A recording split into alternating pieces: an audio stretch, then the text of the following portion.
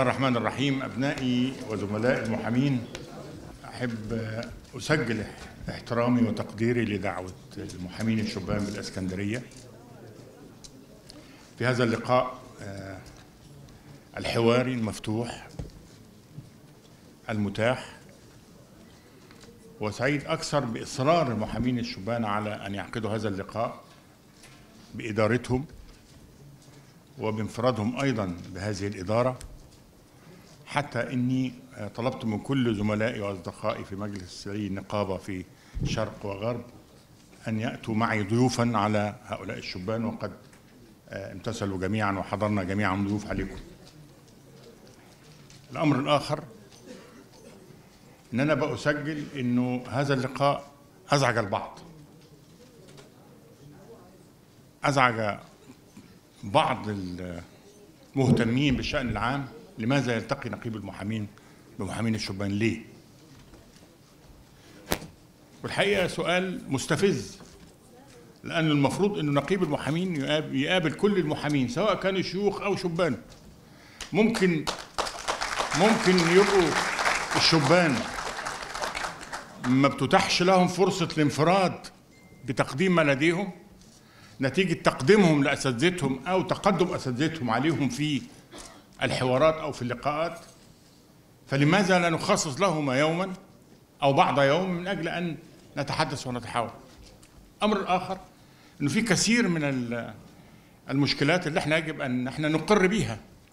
أنه في حالة صحوة نقابية أنا ألحظها في الأجيال الشابة في اهتمامهم وحرصهم على المحاماة وعلى تقاليدها وعلى قيمة المحاماة اللي انتسبوا إليه وده أمر إحنا كنا بنفتقده لسنوات طويلة فاتت. الإحساس بالمحاماة والإيمان بها كرسالة ده شيء أنا لاحظته في هذا الجيل. لو أنتوا لاحظتوا عناوين هذه التكتلات أو هذه التجمعات تجدوا كلها عناوين تتحدث عن مضمون المحاماة واستقلالها.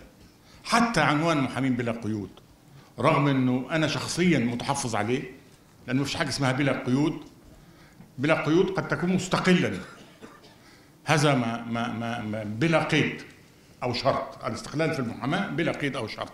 أن تؤدي ما تريد ان أن تختار قضاياك أن تعبر عن رأيك بما بما تشاء. لكن المحاماة قيود. قيود وضوابط وقيم وتقاليد وتراث وأعراف ورثناها من أجيال سابقة. المحاماة مجموعة من المتراكمة من القيم.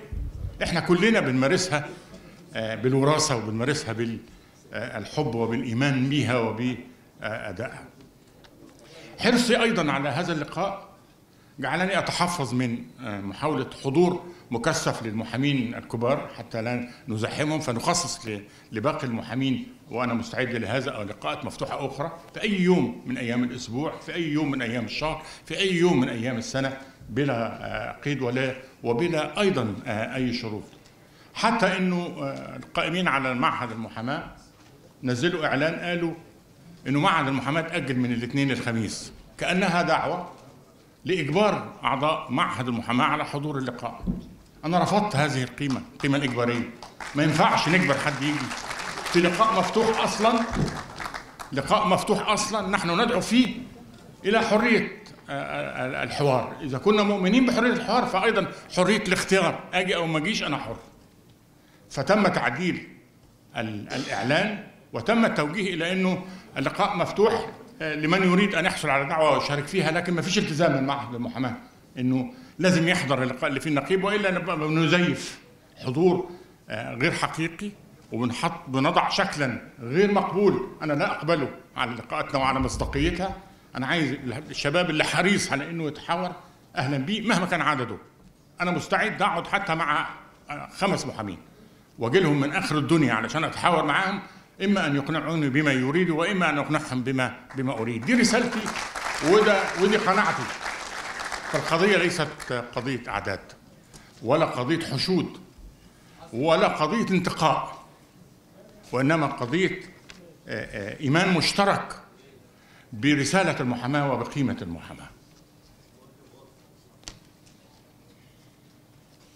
الحقيقة أيضا حد بيقول لي ده في آه، حد هيبعت حد يبوظ اللقاء.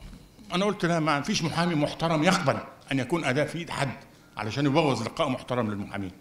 لا أظن إن في محامي ممكن يقدم على هذا الأمر.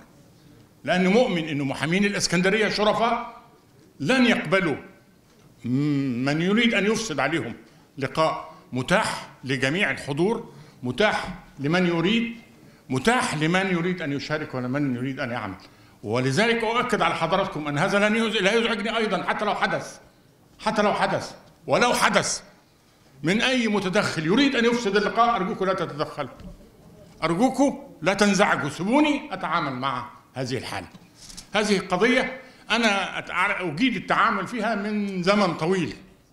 أنا تعاملت مع كل الأجيال وكل الشرائح أيضا وكل الحالات الانتخابية والحالات النقابية والحالات النفسية كل ده أنا متعامل معه ومدركه كويس لكن أنا واثق تماما في إنه جميع الحضور في هذا اللقاء حضور محترم لا يمكن إلا أن يحافظ على هذا اللقاء المحترم. حقيقة مش أنتوا فتحتوا موضوعات في غاية الأهمية وأيضا في غاية التفصيل. آه، إذا أنتوا أردتوا أن تتحدثوا عن تفصيلات ما يجري في الإسكندرية فأنا أشارككم في توجيه هذا الأمر للنقابه النقابة الفرعية. وأناشدكم إن أنتم تعقدوا لقاء أو أكثر مع النقابات الفرعية سواء في غرب أو في شرق. علشان يبقى التواصل أكثر. لكن بالقطع أنا مع النقابة الفرعية ومسؤول معها على وضع حلول لكل أو لأغلب هذه المشكلات بالقدر الذي نستطيع أن نؤديه، سواء كانت مشكلة أسانسيرات أو كانت مشكلة غرف غير مجهزة أو كانت مشكلة ضيق بعض المسائل زي الشهر العقاري وعدم وجوده زي تفصيلات أيضا العمل اليومي في المحاكم. يا إخوانا إحنا مش مطلوب من المحامي إنه يقف قدام غرفة النيابة علشان يستنى أن يعطف عليه وكيل النيابة بالحضور أو يسيبه وسط المرة وسط المجتمع. إحنا إحنا حلينا ده في كتاب دوري صدر. منذ المرحوم النائب العام هشام بركات الله يرحمه. وضعنا في هذا البروتوكول نظام. إحنا قلنا النقابات تتولى ندب أحد المحامين أو الموظفين ليتعامل مع طلبات المحامين. ياخدها من من المحامين في غرفة المحامين. ويطلعها النيابة. والنيابة تخلصها وتقدمها لموظفها المتاح ليقدمها لمندوب المحامين فيعيدها إلى إلى غرفة المحامين تاني فتتوزع. المحامي قاعد زي الباشا في مكانه لكن مش مطلوب ابدا إن المحامي يقف ويتلطع على الباب تحت أي بأي شكل من الأشكال ولا أنا أقبله حتى لو كان العمل اليومي بيجبر بعض المحامين على إنهم يفعلوا ذلك علينا أن إحنا نتمسك بالضوابط. أنا بقول للنقابتين الفرعيتين أرجوكم نفذوا هذا التوجيه المتعلق بمندوبين التسليم لمطالبات المحامين للنيابات المختلفة طبقا للكتاب الدوري المتفق فيه مع النيابة العامة المحامي اللي عايز يترافع في طلبه مفيش مانع إنه يحضر بس هيبقى في محامي واحد أو اثنين أو ثلاثة على عموم القضايا المتاحة أو المطروحة وبالتالي مش هيبقى في إحساس لا بالتزاحم ولا بالضيق ولا أيضا نقبل على المحامين أن يعني الدنية ولا أن يقبلوا هذا الأمر تحت أي ظرف من الظروف. إذا هناك تعنت غير قابل للرفع أو للتصحيح على المستوى المحلي أنا مستعد أتلقى أي شكوى من حضراتكم أو من النقابة المختصة لنقدمها للنائب العام لنضع عليها حل. ما فيش حاجة ملهاش حل. وما فيش حد هيجبر المحامين على إن هم يكونوا أقل شأنا لا من القضاة ولا من النيابة مهما كان الثمن ومهما كانت التبعات. بس نصعد صح بس نتعامل صح ده يسري على النيابة ويسري على الشرطة. أنتوا حضراتكم شفتوا حادثة المحلة. المحلة فيها محامي تم الاعتداء عليه. مش تم الاعتداء عليه باعتباره محامي إنما تم الاعتداء عليه في الشارع. وأصيب. إيه اللي حصل؟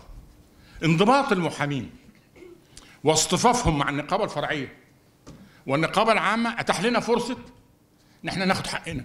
ناخد حقنا إزاي؟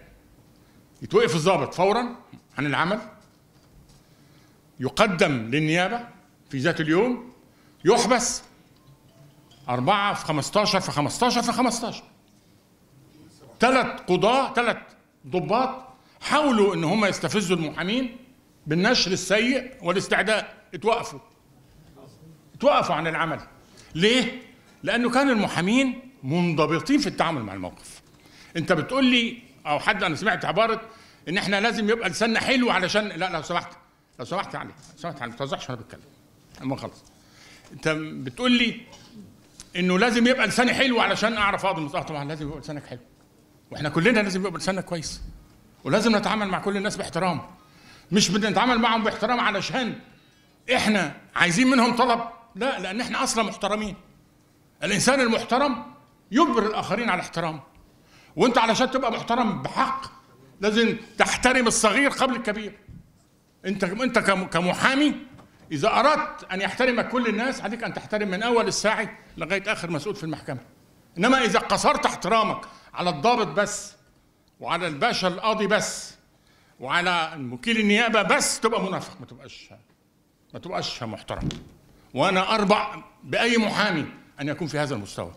نتعامل باحترام. من يسيء الأدب ضدنا ناخذ من ضده الاجراء من يعتدي علينا نرد الاعتداء بس نرد الاعتداء بما هو متاح لدينا من إمكانيات.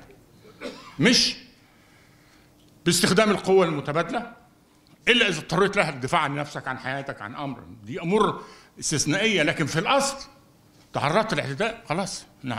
نقدم المذكرة ونقدم البلاغ لغاية ما ناخد حقنا. النهاردة آه، أهل الضابط بيدوروا على المحامي علشان يتنازل عشان يتصالح علشان يقبل اعتذارهم. رغم إن أنا شايف إن كل الإجراءات التي اتخذت من قبل وزارة الداخلية مع مع الضابط لصالح المحامين اعتذار واعتذار محترم.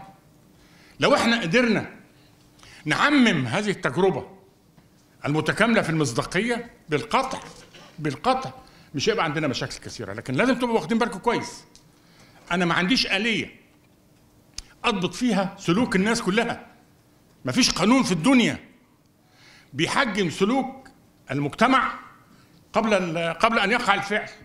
وإلا إيه لازم القوانين اللي موجودة دي بتجرم السرقة وبتجرم القتل وبتجرم النصب وبتجرم كل حاجة لكن ده بيحدث كل يوم. بيحدث كل يوم ولا ما بيحدثش؟ بيحدث كل يوم. التجاوز في حق المحامي أو من المحامي أيضا هيحدث كل يوم. بس كيف نتعامل معه؟ هي دي الطريقة هي كيف كيف نواجه كيف نواجه هذه الأزمة؟ وكيف ندير هذه الأزمة من أجل الخروج بأقل الخسائر الممكنة وأيضا بما يحافظ على كرامة المحامي وكرامة كل الأطراف المعنية في هذا الأمر. لأنه أيضا مش مطلوب إن المحامي يخش يشتم ولا يزعق للظباط للظابط في مكانه. طب ما هيرد عليه.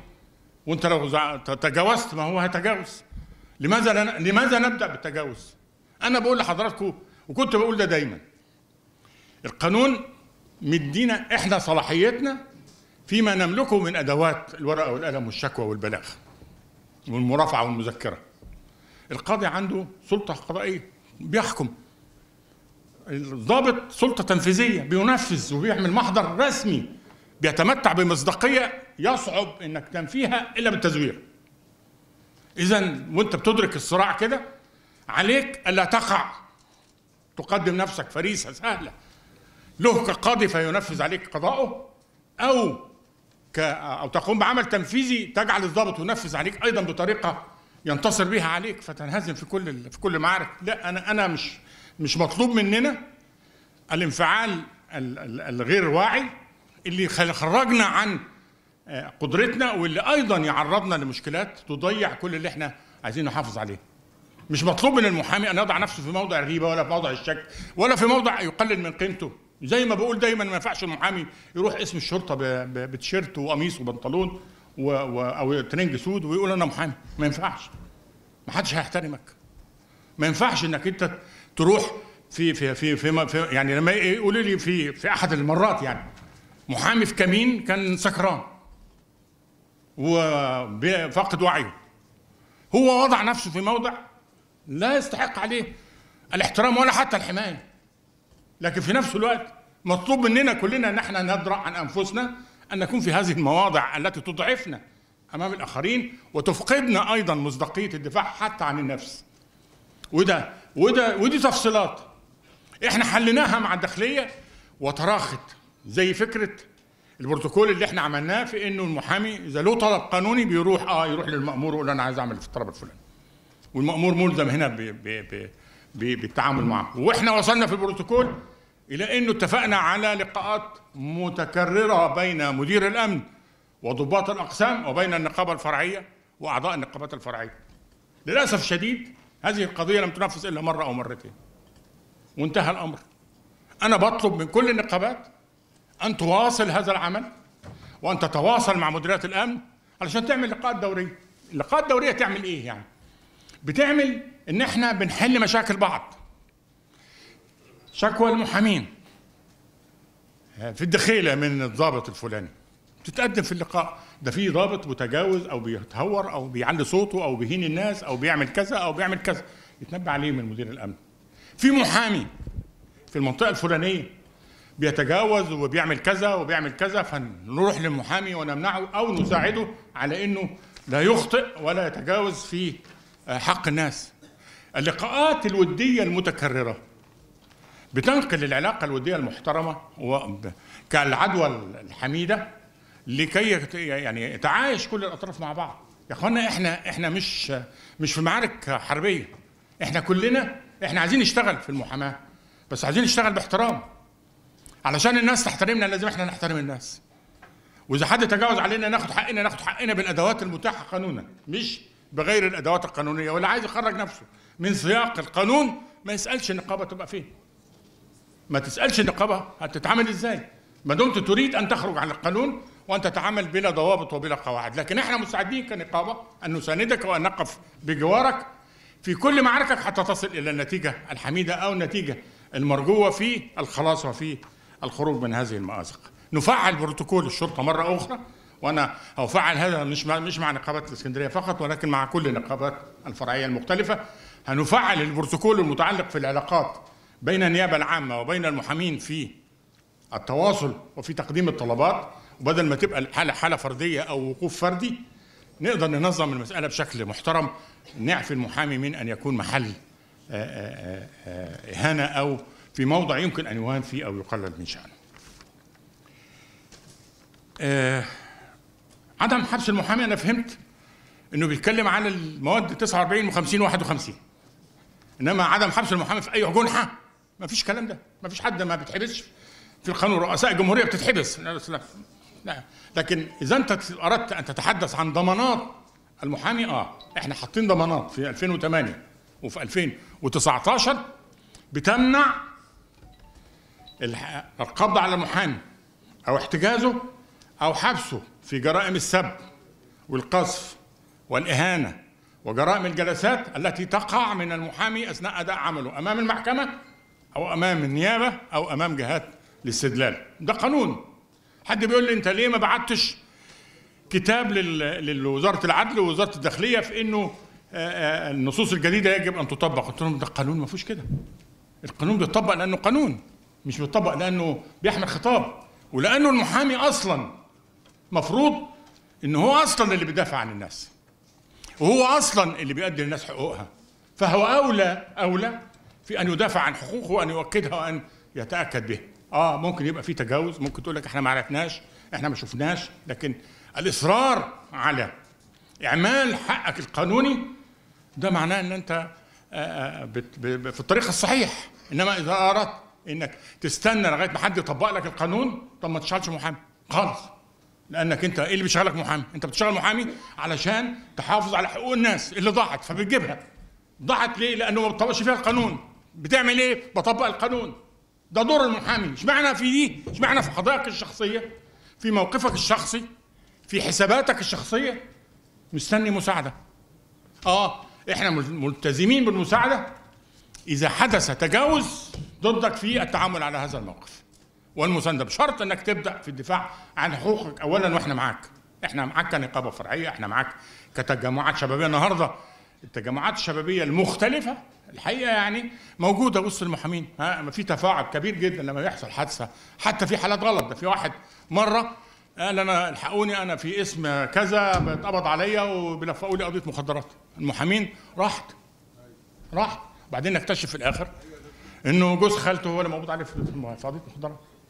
يعني وصل يعني وصل الأمر باستخدام المحامين في القضايا الخاصة وفي الحسابات الخاصة وفي المشكلات الخاصة لكن إحنا مهمتنا إن إحنا بندافع عن المحاماة لأنها محاماة والمحامي لأنه محامي يؤدي واجبه في المحاماة سواء أمام المحكمة أو أمام النيابة أو أمام جهات الاستدلال المختلفة. آه أنا هنتظر منكم مذكرة بالشكاوى المتعلقة بمعاملة النيابة سواء كانت في المنتزه أو كانت في غير المنتزه.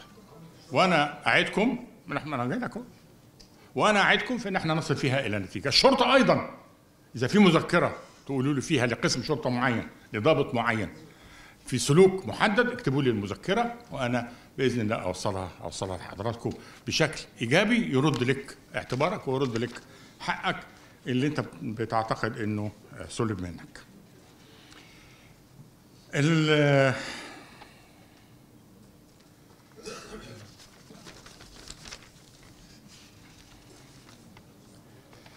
حد بيتكلم أو من ضمن الأسئلة وأنا هجاوب يمكن بحاول بقدر الإمكان من غير من غير ترتيب لكن علشان أقدر أجمع كل مجموعة أسئلة في في ما في ما يعني دفعة واحدة من الإجابة.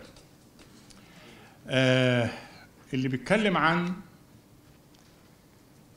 نادي المحامين. نادي المحامين أصبح حكاية في اسكندرية. ويمكن الجيل الشاب من المحامين عنده حق عنده حق لأنه ما يعرفش حاجة لكن إحنا عندنا مشكلة في هذا النادي بدأت لما بدأنا نسند النادي لشركة من شركات القطاع العام اللي هي المقاولين العرب. أول ما أسندنا رحنا نطلع ترخيص أو راحوا يطلعوا ترخيص قالوا لا ده أنتوا عليكم فلوس قديمة لازم تدفعوا الأول. رحت قابلت المحافظ في ذلك الوقت كان غير الحالي كان يمكن حوالي ثلاث أو أربع محافظين غيروا عليه. وجدولنا المديونية وخدنا التصريح بأن إحنا نبني. جينا ناخد الترخيص بالتجديد. قالوا لا ده غفر السواحل أو القوات المسلحة عايزة تراجع الرسومات الهندسية. هاتوا الرسومات الهندسية ودوها القوات المسلحه قالوا لا ده أنتوا تودوها الأمانة. العامه لوزاره الدفاع في القاهرة. فتخيلوا بقى بنجيب الرسومات من هنا معتمدة من الحي علشان نوديها والمحافظة علشان نوديها الأمانة العامة لوزارة الدفاع.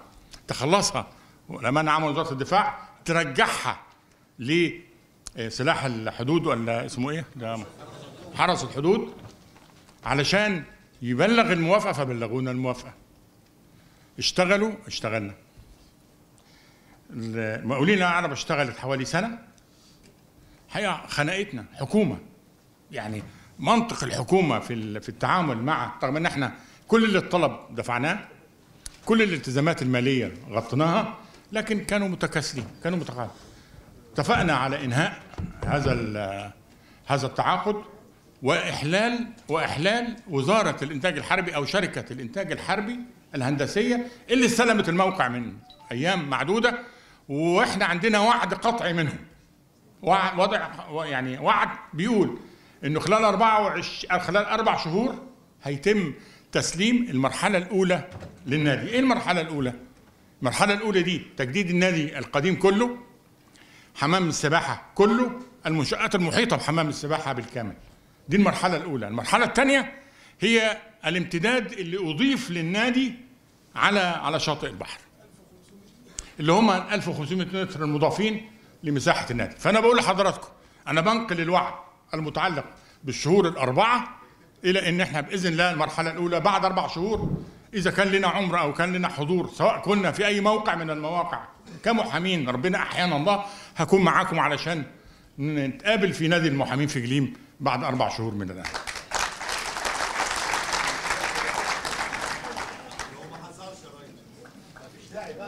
لو ما حصلش لا لا لو ما حصلش هنغير الشركة. الله هنغير الشركة أنا مش أنا اللي هبني ولا أنتوا اللي هتبنوا. إحنا بنتعامل مع شركات هي بنرى إنها الأفضل. ما ما اتأخر يوم اتأخر أسبوع اتأخر شهر. في النهاية زي كل زي كل الأمور اللي بتجري في الدنيا. واللي زعلان من النادي دلوقتي ومستعجل عليه نسي نسي إنه النادي ده أيام الإخوان المسلمين ما كانش حد بيعرف يخشه وكانوا بيبيعوا فيه آه، حاجات على على الشارع وجوه آه، قاعدين باجتماعاتهم وما حدش اتكلم عن نادي المحامين ولا حد كان بيفتح بقه. منين اللي بيتكلموا النهارده من القيادات القديمة على نادي المحامين. ومع ذلك إحنا ما بنقولش هنسيب نادي المحامين ولن نتركه إلا لما نسلمه لحضراتكم. هنقاتل حتى لو اضطرينا نتخانق مع الانتاج الحربي هنتخانق مع الانتاج الحربي. ما فيهاش حاجة. آه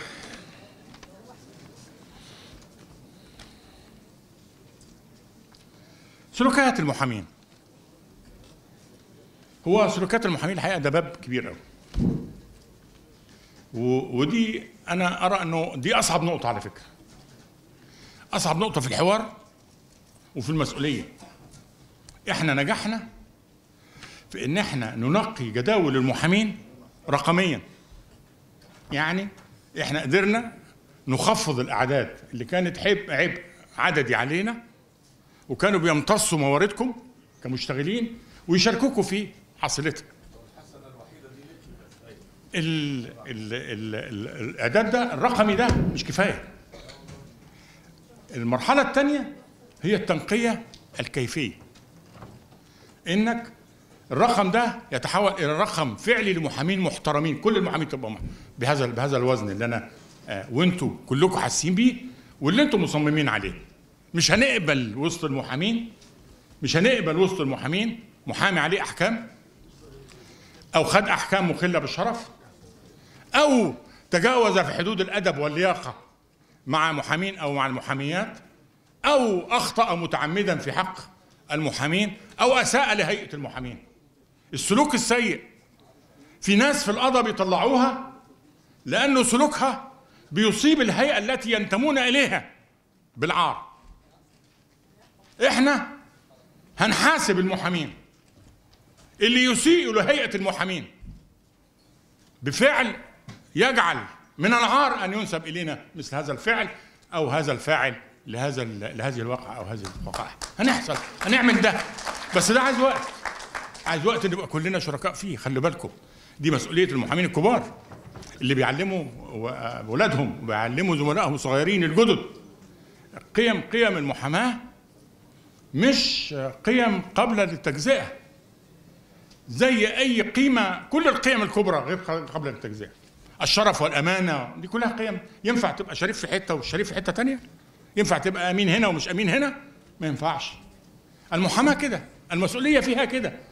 لما تبقى ال- القيم المجتمعية فيها خلل وعدم انضباط لازم تبقوا فاهمين إن إحنا متأثرين بده. وفي انعكاس علينا من هذا ال- ال- الخلل اللي مو... الخلل المجتمعي اللي موجود. لكن إحنا كمان علينا إن إحنا نضبطه. هنضبطه من خلال معهد المحاماة. هنضبطه من خلال أكاديمية المحاماة. هنضبطه من خلال مدونة السلوك. اللي أنا مصمم إنها تطلع طبقا للقانون علشان تحاسب أي حد يحاول أن يتجاوز يعني يتجاوز خطوط المحاماة الحمراء في التعامل مع زملائه أو مع الآخرين. يا إخوانا إحنا ده المحامين بتعتبر إنها عندما آه، آه، تهين بعضها البعض في غرف المحامين حتى على سبيل الدعابة بيعتبروا ده نوع من أنواع الصداقة والمودة.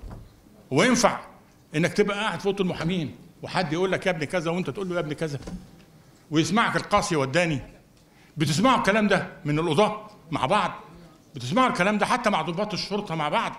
اشمعنى إحنا بنجيز ده؟ المحامي اللي يسمع منكم هذا القول في غرفة محامين يجب أن نستنكره مرة الثانية الثالثة هنمتنع. إنما إذا أجزنا إن إحنا نستخدم الألفاظ الخارجة والحديث غير المقبول واللي يجرح الرجال والنساء على السواء. لو قدرنا نضبط ده على مستوى سلوكنا ودي مسؤوليتنا كمحامين كبار كمحامين أقدم كمحامين متمسكين بالسلوك القويم هنقدر نطهر.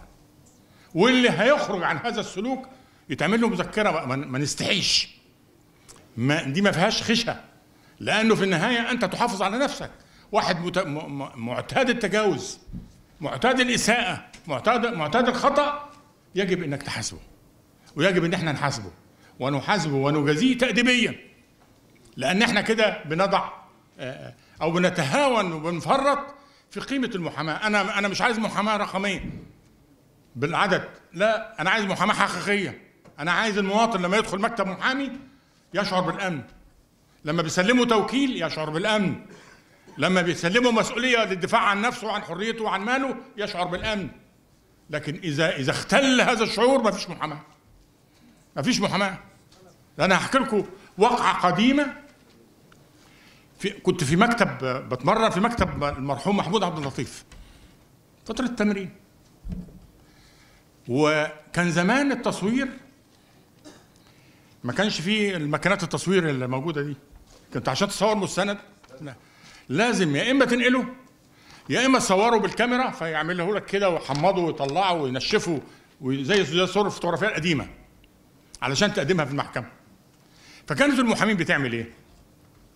لما بتقدم حافظه مستندات في المحكمة بتيجي قبل الجلسة بيوم أو اتنين تبعت حافظه المستندات المكتب للمكتب الآخر خصم. يقول له اطلع على الحافظه علشان لما تيجي الجلسة ما تقولش أنا عايز أطلع. فبقى عرف بين المحامين انهم يبعتوا بعض الحوافظ دي. فانا قاعد مع الأستاذ محمود وجات له حافظه مستندات. جاية مع كاتب جلسة فتح الحافظة قدامي. الكاتب سلم المحافظه وخرج. ساب المحامي. خلوا بالكم بقى يعني شوفوا تعالوا نفصص المسألة. فتح الراجل الحافظه فيها أصل عقد فيها شيك فيها مذكرة فيها مستند فيها أصول مستندات أنا بصيت آه وقع أن تم الاطلاع ندى الراجل اداني الورقة. لو ده بيحصل النهارده نبقى إحنا صح. بس ده ممكن يحصل النهارده؟ اذا به بهذه الحالة الإجماعية بقى في حاجة غلط. في حاجة غلط. إحنا بقى عايزين نوصل للمرحلة دي. نوصلها إزاي؟ مش هنوصلها بقرار من النقابة ولا بقرار من النقيب ولا بخطبة وإنما إنما بالإصرار على إن إحنا نعمل ده. وما نسمحش لحد إنه ينزل بمستوانا عن هذا المستوى من الأمانة. دي الأمانة اللي كلنا بنحلف عليها. على فكرة الأمانة لا تتجزأ. إنما دلوقتي بدي شطارة. ممكن تلاقي محامي يلاقي حافظة خصم موجودة فيلعب في الحافظة إذا قدر يلعب في الحافظة. أو يسحبها أو يغيرها. أو يسحب نوت الزميل حاضر في القضية عشان تتشطب هي دي شطارة هي دي محاماة؟ دي مش محاماة. ومش شطارة في المحاماة. إنما دي خيبة كبيرة وده تدني بسلوك المحامي. وبمستواه إحنا عايزين نحاسب المحامين على كل هذه التفصيلات. بس عشان نحاسبه لازم كلنا نبقى مؤمنين باللي إحنا بنعمله. مش بس النقابة العامة مش بس النقابة الفرعية المحامين في كل مكان الكبير والصغير يبقى مقتنع بده. إحنا هنحاول نعمل ده في الأكاديميين هنحاول نقدم ده في معهد المحاماة. لكن المدرسة الحقيقية أنت وأنا في مكاتبنا في المحاكم. إذا ما إذا إيه؟ لما تشوفوا محامي حاضر في جلسة أو في غرفة المحامين بزي غير لائق أو محامين بنفي بنفس الطريقة. ونسكت. نبقى إحنا بنرتكب جريمة. لأن إحنا بنجيز الخطأ. إحنا بنجيز وبنكرسه. وبنجعله له, قيمة. ومش عايزين حد يجي ناحيه يقول إذا حد بدأ يقول له لا عيب ما يصحش. هتجد 500 صوت يطلع. يا أخي وأنت مالك؟ يا أخي سيبه. يا أخي سيبها. حرام عليك. ده جاية بيفرض ما معهوش يجيب بدلة. ما ينفعش. المحاماة مش هينفع تبقى كده. إذا إحنا فرطنا فيها كلنا لأن دي مسؤوليتنا. وأنا مصدر سعادتي في اللقاء ده إحساسكم أنتوا بأنه مسؤوليتكم المحاماة مش مسؤولية نقيب المحامين لوحده ومش مسؤولية مجلس النقابة لوحده ومش مسؤولية النقابة الفرعية لوحدها. إنما مسؤولية مشتركة بين كل المحامين. كل واحد فيكم عليه مسؤولية فيها. وإحنا بنكمل بعض. دي تفاصيل صغيرة في السلوك. مش بس محامي السلم. ما هو محامي السلم جزء من السلوك الغير قويم. جزء من السلوك المنحرف. إنه يبقى فيه محامي سلم. ونقبل ده. ونقبل ده ونسيب المحاكم تقبله. فيجي يحضر المحامي حتى هو قاعد في الجلسة وفي جناية. يقول اديها الكاتب يقول له اديها لفلان. أو أو الشاويش يديها لفلان. ويجي فلان يقف بلا ضمير ويقول أنا بطلب البراءة. اصليا البراءة احتاجين سامع الرأفة ويقعد. عشان المحكمة تقول حضر المحامي. لا في ضمير. لا عند القاضي ولا عند المحامي. القاضي اللي يقبل ده ما عندوش ضمير. والمحامي اللي يعمل كده ما عندوش ضمير. جريمة مشتركة. جريمة مشتركة. بنمارسها. علينا أن لا نقبلها. علينا أن نرفضها تماما. إحنا لحسن الحظ. إن إحنا داخل علينا هيتم تعديل تشريعي طبقا للدستور. الدستور في المادة 55 أو 56 مش فاكر بالظبط بتتكلم يبلغ كل مقبوض عليه بأسباب القبض عليه. ولا ويمكن من الاتصال بذويه ومحاميه ولا يبدأ معه التحقيق إلا بحضور محامي. ولا يحال المحكمة إلا بحضور محامي. إذا أصبح حضور المحامي وجوبيا. بقى وجوبي في التحقيق وجوبي في المحكمة جنح أو جناية. يعني محكمة الجنح طبقا لهذا التعديل الحضور فيها وجوبي للمحامي. ده لو التعديل التشريعي اتعمل نف- تنفيذا لهذا القيد الدستوري هيبقى محكمة الجنح مستحيل حد هيتقدم من غير ما يبقى معاه محامي بموكل أو منتدب. ده معناه إن كلنا هنشتغل. معناه إن كل المحامين هتشتغل سواء كانت على سبيل الانتداب أو على سبيل الوكالة. ده هيجعلنا ندخل في تنظيم الوك... الانتداب. وجداول الانتداب. وإن النقابة الفرعية كل نقابه فرعيه معنيه بأنها تعمل جدول. جدول للجنايات وجدول للجنح وجدول للجنح المستأنفه علشان نقدر اولا نوفر الفرص الحقيقية لشغل المحامين لعمل المحامين سواء كانوا بالانتداب أو بغير الانتداب. وفي نفس الوقت بنحفظ كرامة المحامي.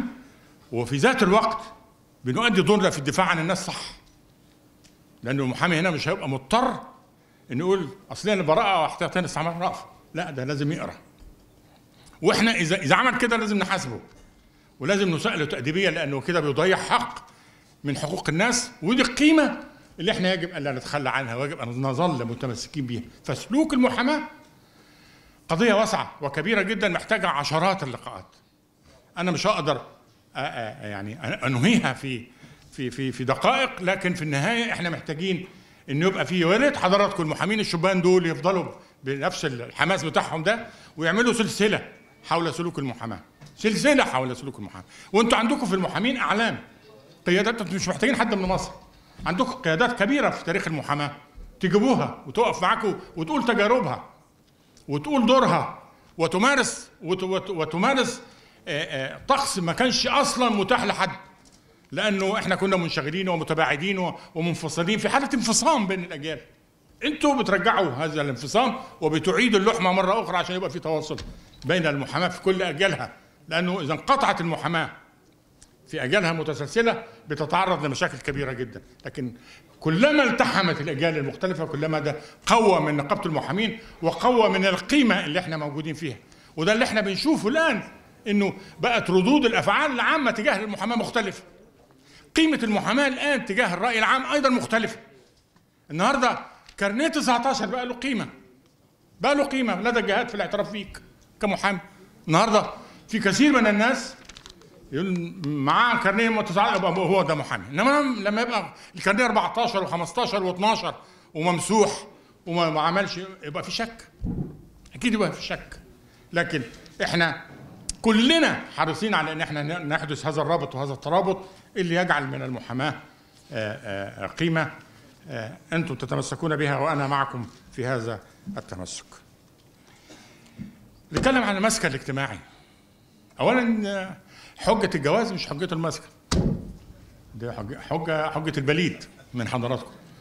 ف فلكن أنا إذا كانت إذا كانت قضية المسكن قضية بس أنا عايز أقول لكم على حاجة أقول لكم على خبر فات وخبر جاي. اللي فات إن إحنا من سنة أو سنة ونص أعلنا عن 10000 وحدة سكنيه في مستوى الجمهورية. برج العرب غير برج العرب ال- آه، آه، القاهرة أسيوط سوهاج أسوان. من وزارة الإسكان كاملة التشطيب بسعر 1800 جنيه المتر تسليم مفتاح. بتتجدول وبتتقسط على 20 سنة عن طريق بنك التعمير. عارفين حضراتكم ال 10000 وحدة اللي تم الإعلان عنها. شغلها كام واحد؟ خد منها اتخذ منها كام؟ 3500 وحدة. ورجعت 6500 رجعوا ليه؟ لا لا لا في إعلان. لا لا لا, لا في إعلان. أنتوا بتشوفوا أنتوا بتشوفوا اللي أنتوا عايزينه. شو اشمعنى لما يبقى في إعلان بالإساءة لحد كل الناس بتشوفه. بال بال لا لا لا لا, لا. أنا بقول امال 3500 واحد دول جم منين؟ 3500 اللي خدوا الوحدات شافوا الإعلان. فلما يبقى في 3500 ما هو أصل الكلام ده تقول لي لو لو العدد أكتر من من اللي كان مطروح. إحنا يبقى إحنا قصرناها على 10 وسيبنا 20 لا ده رجعت. ده إحنا كنا رجعت إحنا عملنا إعلانات في غرف المحامين وعملنا إعلان في الصحافة وصرحت وزارة الإسكان وت- وتم التداول على هذا الأمر وموقع النقابة. يعني في كل هذه المناطق. ومع ذلك إحنا هنعتبر انه ما حدش اعلن. إحنا تواصلنا مع وزارة الإسكان عشان يعيدوا تخصيص وحدات للمحامين. صحيح مش بنفس أسعار العرض اللي فات لكن بنفس المميزات المتاحة الآن. بسعر مدعوم أيضا تقسيط مع عن طريق البنك العقاري. أرجوكم تتابعوا الموقع اللي هننزل عليه هذا الإعلان علشان اللي حضراتكم عايز بشكل جدي وجاد إنه ياخد واحد يتقدم بهذا الأمر. دي واحد. اثنين إحنا في برج العرب مطروح الآن حوالي 200 وحده خلصت. هنطرحها هنسلمها للي دفع بالكامل الوحدات بس ما نقدرش ننزل الاعلان ليه؟ لأنه اتقال إنه هيستلم النهارده والمرافق هتخش بعد شهرين. أنا قلت لأ.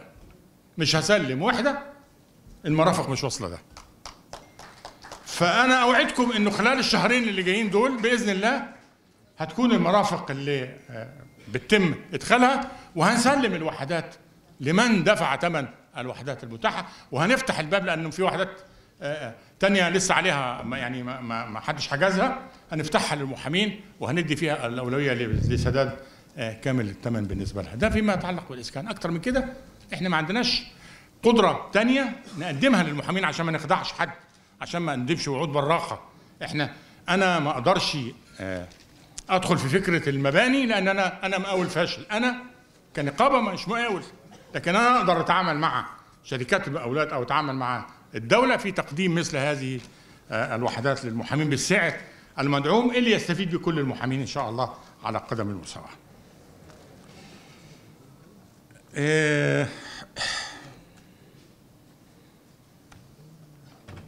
معاملة المحامين مع الموظفين. يمكن مع النيابة مع البتاع إحنا خلاص إحنا اتكلمنا فيها. مع الموظفين. إذا في شكوى محددة من موظف محدد أساء الأدب ولم يتعامل مع المحامي بغير الأدب هيتفصل فورا. مفيش فصال مفيش فصال هاتوا لنا مذكرة. وخلوا الواقعة من غير اكتب واقعة محددة. آه. من غير كتابة ما حدش يكلمني وأصلي بيعمل كذا وبيعمل كذا. لا هات لي واقع أنا هنفذ نعم. ولا محتاج لا تجيبها النقابة. أنا أنا متواصل معاك أهو. الخزن وقلة عددها أنا طبعا مش فاهم الموضوع كويس. لكن أنا هتواصل مع الاساتذه في النقابة الفرعية. هنشوف. هتوا... من عشان كده بقول أنا هتواصل معاهم أنا هتواصل مع النقابة الفرعية. اذا اذا إذا في إذا في أي طلب من النقابة العامة لمساعدتهم هنقوم به ما فيش هم إن شاء الله كفلاء بأن يؤدوا هذا الدور ويؤدوا هذه المسؤولية. وأنا واثق تماما. وعشان كده أنا طلبت إنه إخواننا يا ريت يعملوا لقاء مفتوح أيضا مع مجالس النقابات الفرعية.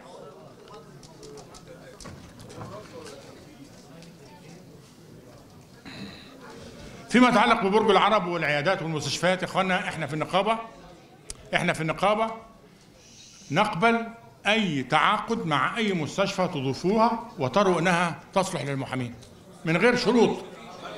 أقرب مستشفى هاتوه لكن أنا هعمل لك مستشفى هناك إزاي؟ أقرب مستشفى ليك هاتها وأنا أتعاقد معاها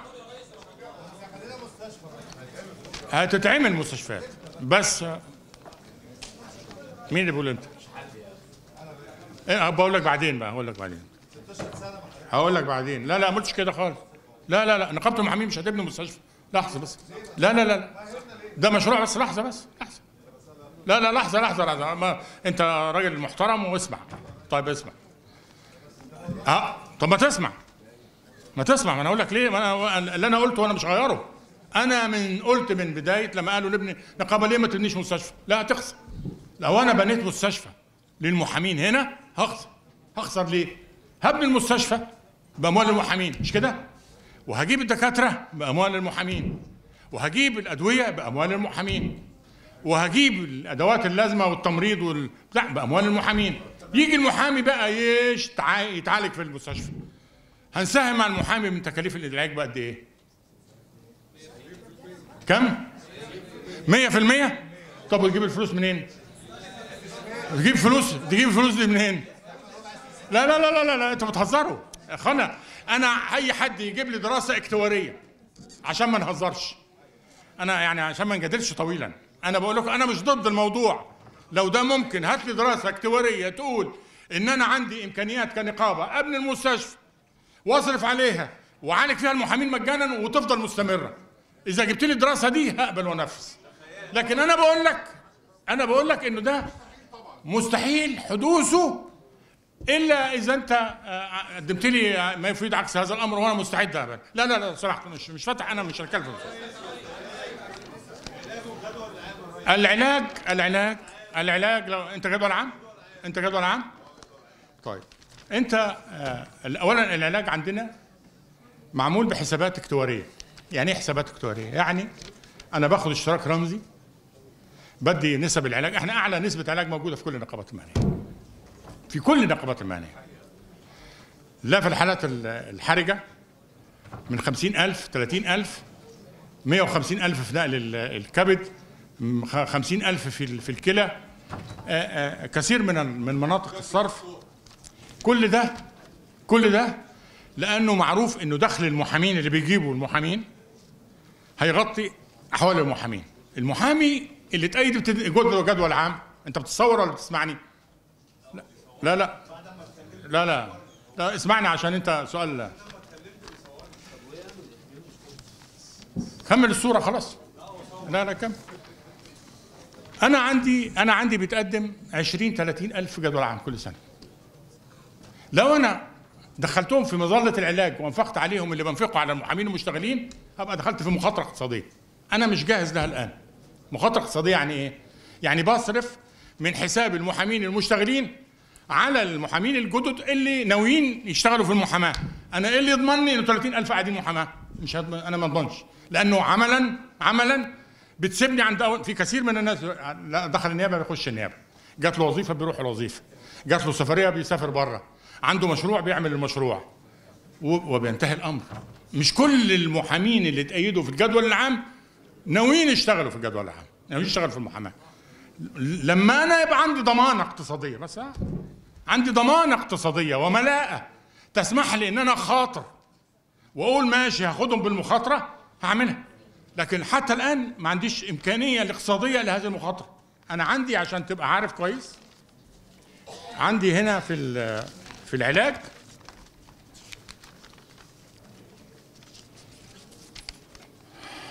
أنا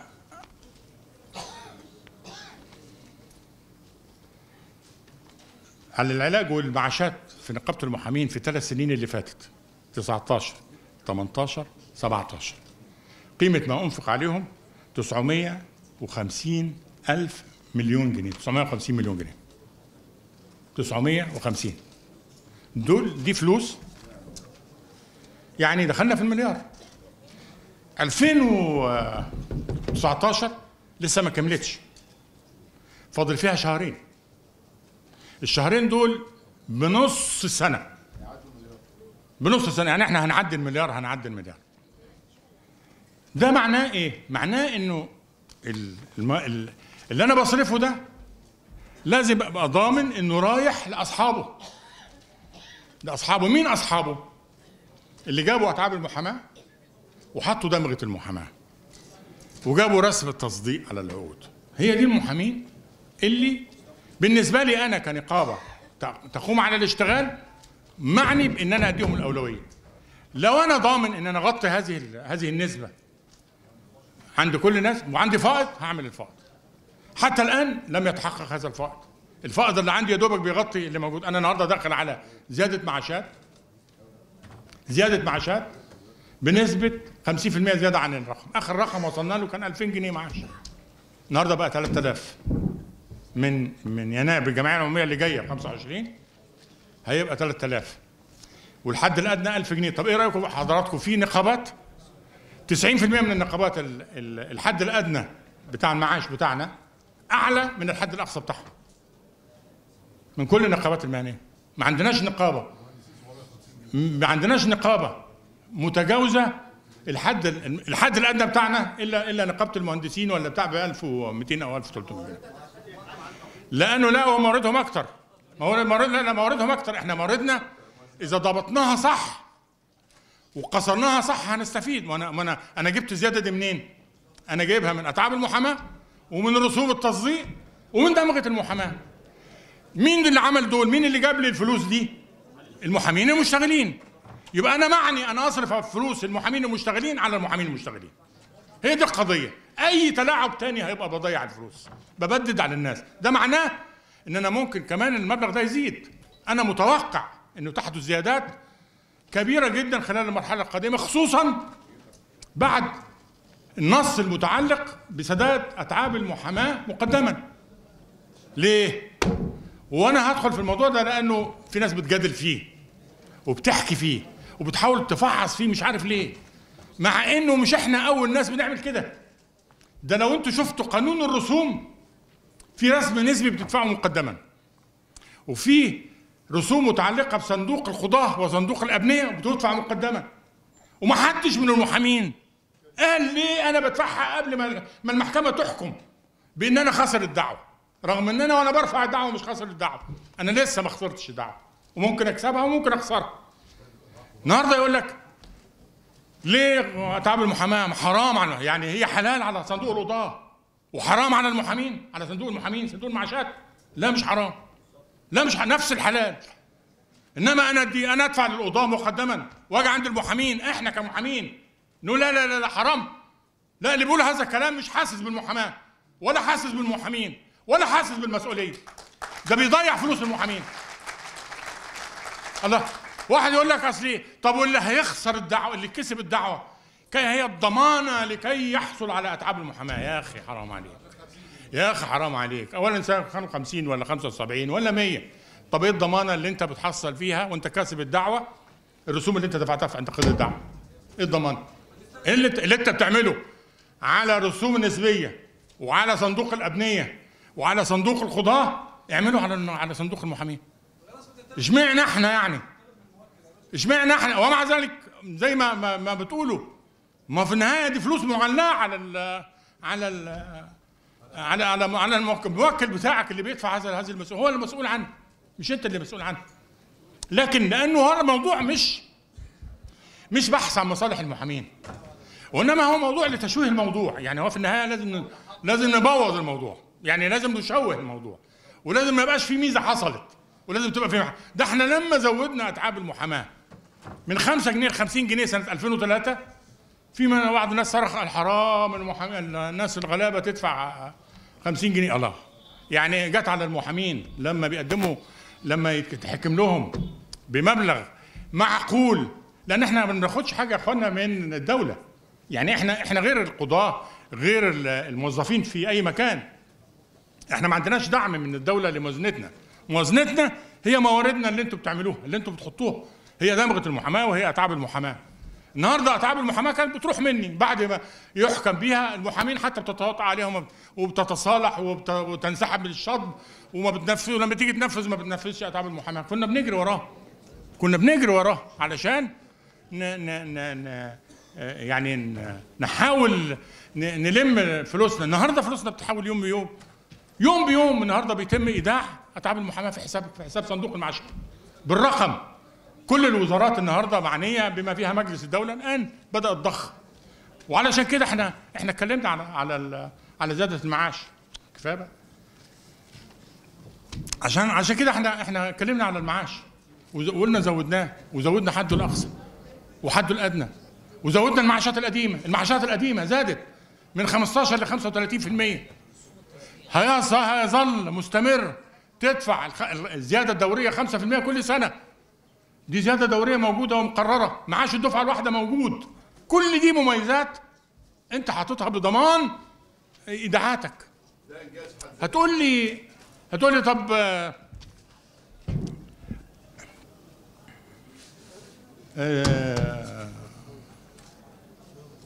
اللي أنتوا بت- بتقدموه أو اللي أنتوا بتاخدوه من النقابة رسوم التصديق ليه المحامين ما بتاخدش منها؟ لا لا ما ينفعش كده. محدش يقول كده. اولا ده غلط. اقرأ اقرأ القانون. القانون بيتكلم على إن دي فلوس لصالح صندوق الرعايه الاجتماعيه والصحيه الاقتسام اللي حدث حدث مخالف للقانون. وحدث أيضا لدغدغة مشاريع المحامين مشاعر المحامين. الفلوس دي اللي إحنا اللي إحنا بنضخها في المعاش النهارده أفضل ولا تاخدها المحامين اللي بتعمل العقود أو مكاتب ال- ال- الضرائب أفضل؟ وبعدين أنا أدفع لك ليه اتعابك أنا أتعب لأن أدفع للمحامي أتعبه ليه؟ اللي يدفع أتعابك الموكل اللي اداك العقد عشان تكتبيه الله. ده سيبك من حتى لو ما علقش علق وحاسبنا وقال إنه في غلط وقال إنه في مسؤولية. لكن في النهاية المسؤول عن أتعابك المحل أو أتعابك الموكل اللي اداك العقد تكتبه. إنما أنا أدفع لك أتعاب العقد ده في مكاتب في في في المحاسبين بتشغل محامين شبان تصدق العقود وتاخد هي النسبة كانت للأسف الشديد 75 أو 80% من موارد الصندوق من التصديق. كانت بتروح لهذه المكاتب. كلم يا ابني نزل إيدك مش شايفها كده؟ عشان اعرف أتكلم. لا لا لا مش هيقول. لا لا أنا أنا خلاص أنا سألته وأنا هجاوب. خلاص. ف 75% أو 80% من المكاتب بتروح بتروح لكام واحد؟ طب أنتوا حسيتوا يا إخوانا في الفترة اللي كانت الناس بتاخد فيها نسبة العقود دي حسيتوا إنه في حالة انتعاش وسط المحامين؟ حسيتوا بأي أهم في في إضافة عن حصلت؟ هم أصلا بينكروا ان هم خدوا فلوس. هم أصلا بيخبوا ان هم خدوا فلوس. هم ما اعترفوش أصلا إن ادتهم هذه الفلوس. هم اعتبروها حق وخدوه خلاص. إحنا مش ضد المحامي ياخد لكن العقد أنا هيجيني هيجيني. أنت مش هتعرف فضل فيه على فكرة. العقد هيجي للنقابة هيجي للنقابة سواء أنت قدمته أو أو غيرك قدمه. لأنه أنت مش بتجيب لي عقد. أنت أنت أنت بتؤدي واجبك القانوني بتاخد عليه اتعاب فما ينفعش نجادل في حصة بتدخل الآن في صندوق المعاشات. أنا أصبحت زيادة المعاشات مرتبطة بهذا المورد أي مساس بهذا المورد؟ مساس بالمعاش بتاعك ومساس بالعلاج بتاعك. وإحنا متحسبين في انه في زيادات قادمة بإذن الله هتبقى آه، في أعلى آه، مراحلها آه، قضية ثانية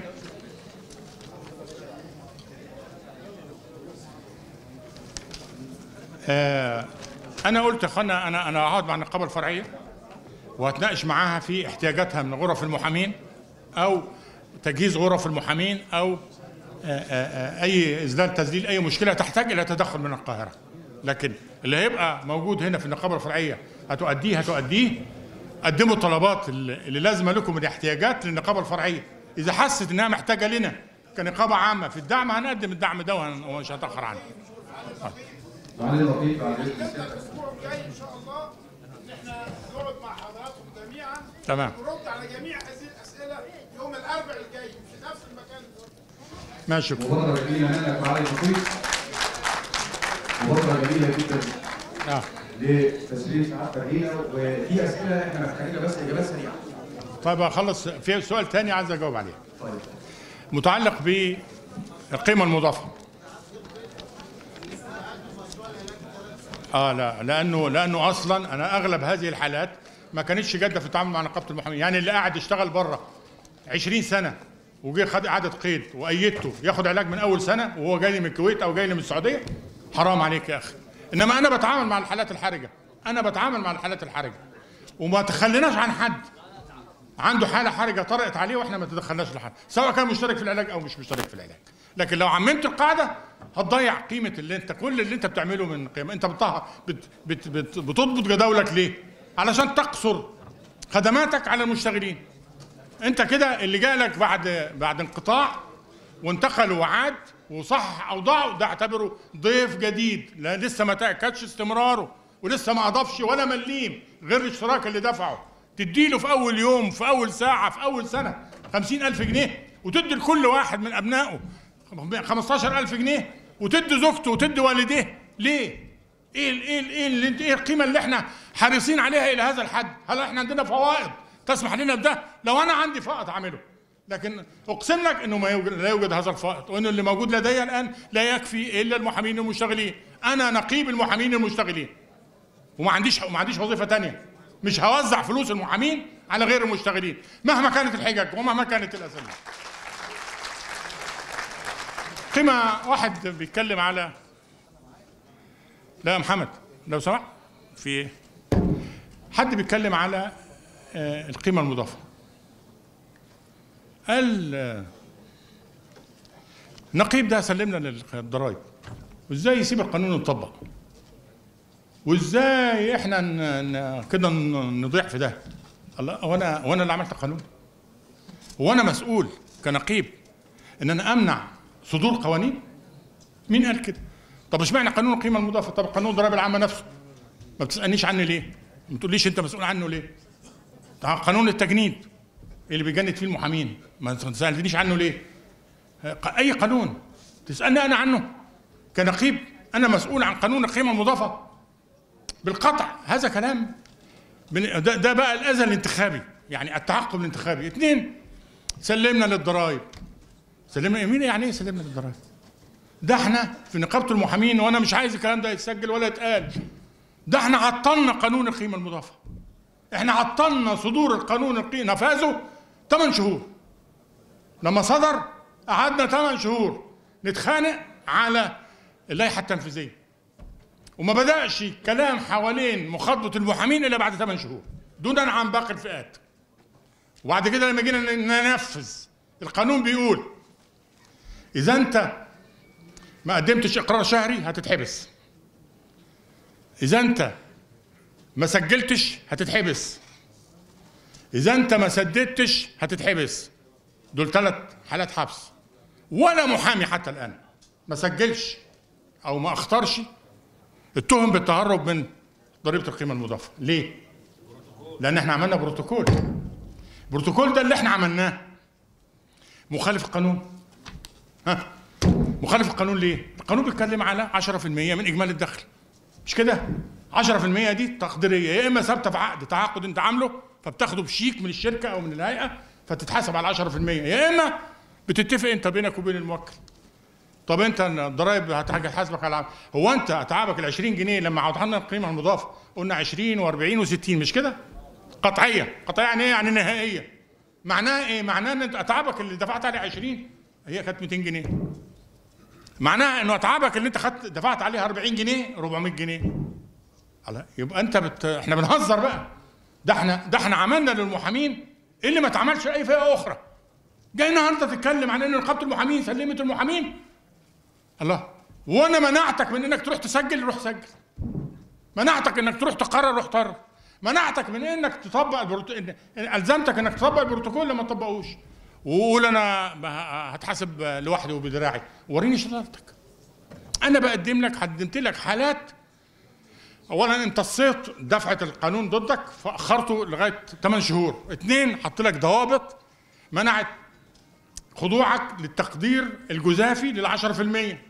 ثلاثة أنا منعت عنك الحبس بالبروتوكول. أربعة أنا طعن قدام المحكمة الدستورية. والطعن في المفوضين. وإذا اتحكم بعدم الدستورية خلصنا. ما اتحكمش بعدم الدستورية. أدينا خففنا الأمر شوية. لكن في النهاية نقابة المحامين هي اللي جابت القيمة المضافة. ده كلام بره يعني آه، بره المنطق. وأيضا كنوع من أنواع التضليل وال والعبث. يعني واحد كان كلمنا النهارده نشر في في الفيس. قال لك ده الميزانية فيها تبديد مال عام. ليه يا عم تبديد مال عام؟ قال انت جايب مكتوب انك شاري مقطورة في المعادي ب 800 ب 850 ألف جنيه ومقطورة في 17 في 18 سنة 2018 ب 2 مليون و350 مقطورة. انت بتهزر بقى؟ لا لا إحنا ش... إحنا شاريين م- حاجة اسمها برطوم ده. برطوم مساحته حوالي 1000 متر. شارينا ب 850 ألف جنيه. حطيناه دي أضفنا لمساحة النادي 1000 متر. زيها كأنها أرض بالظبط. أدي واحد. اثنين قررنا نستغل جزء من النادي استثماريا فاشترينا مركب بأقل بمليون و600 ألف. علشان وأعلنا عن استغلالها كمطعم سياحي. جالنا عرض جالنا عروض قبلنا منها عرض باستئجارها لم- ب- ب- لمدة تسع سنين بمليون ونص سنويا قبل الزيادة 10% كل سنة. يبقى أنا جبت المركب دي كم مرة؟ ثمنها أنت جاي راح جامع جامع ال 850 على المليون و600 قال لك من 2 مليون و300 و850 راح جامعها تاني. فقال لك كده اشترى مركب ب 3 مليون. لا مش أنا مركب. هم اثنين اثنين وموجودين واحد بتجهز المركب الس- السياحية دي بتتجهز لأن إحنا متعاقدين على إن إحنا هنأجرها واستغلالها بشكل سياحي لصالح المحامين عشان تجيب إيران ندخله في صندوق المعاشات. اللي بيتكلم على قال لك مبنى نقابة المحامين أنت دافع فيه 63 مليون جنيه أو 7 أو 70 مليون جنيه. ده إسراف للمنع يا عمي في لحظه اولا أنا مش ببني عمارة. يعني أنا مش ببني عمارة سكنية أنا ببني مبنى نقابة المحامين على مسطح حوالي 2000 وشوية متر. اتنين ال- المبنى ده في أعماق تحت الأرض ده إحنا بانيين دورين تحت الأرض. نتيجة المترو والمبنى نقابة الصحفيين القديم اللي الجديد اللي, معانا بقى المية بقت محتجزة تحت مبنى نقابة المحامين. فتم عمل دخول الأعماق وشفط المية وسنادة ال- المحيط بقواعد مسلحة وبأدوات هندسية خرافية. تساوي نصف القيمة اللي إحنا دفعناها بال...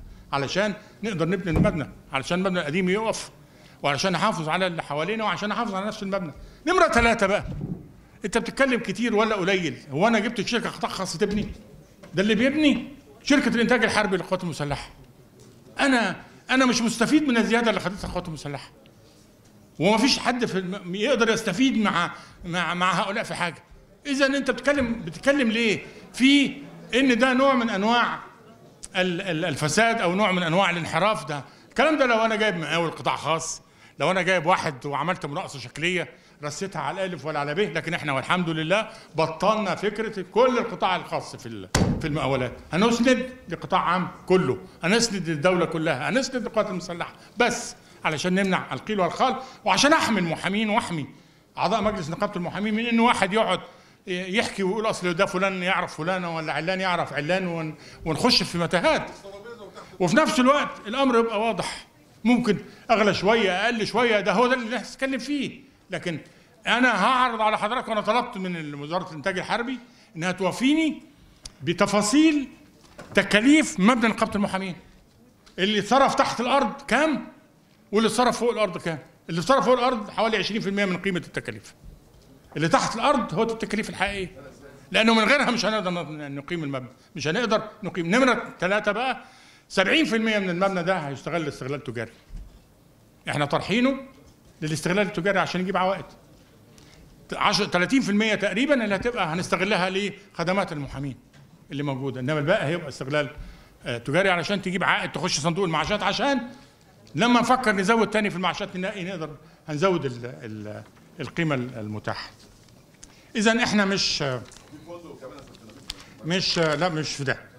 لا مش في ده. الفندق ده في في المنيا. آه أنتوا أسئلتكم كتير على فكرة. لسه في أسئلة ثانية المعاشات إيه؟ بالنسبة للمعاشات يا ريس بيتكلموا الاساتذه عن آه، آه، دليل الاشتغال عن سنوات العمر كافة طالما أنا جددت 2019 إذا أنا مشترك طبعا صح. صح. لا لا صح. كلامك صح. بس خلي بالك. أنت من إمتى بتقدم الدليل الاشتغال؟ من 2013 من 2013 أنت مش ملزم تقدم حاجة.